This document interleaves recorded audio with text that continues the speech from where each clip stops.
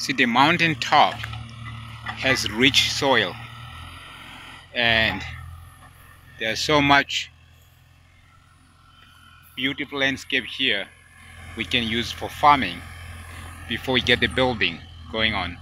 So now the ex the backhoe is actually preparing this place for us to put seed down. And those who are living on the mountain here, around here, where the farm is like 35 miles away from them, from now on they don't have to wait for food coming from the farm. They can actually plant their own food here. They have at least two acres just on this side alone. So they can grow food for themselves.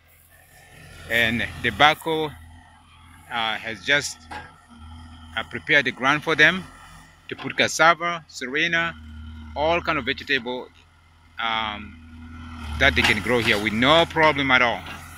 So this is the richness of this place and we wanted to really make the maximum um, ability to produce food here. Look what he's doing. He just uh, like just preparing the ground such a way is that a mere hoe can actually dig through it. There's no much rock here. It's just soil uh, that can be used. That's why anything put here in the past grow because deep down is is just soil.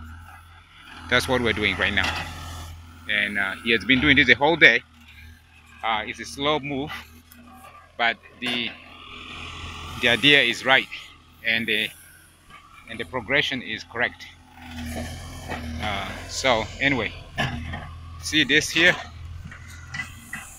You can pluck cassava, anything appropriate for cultivation. He has done this the whole day and we're ready to plant tomorrow.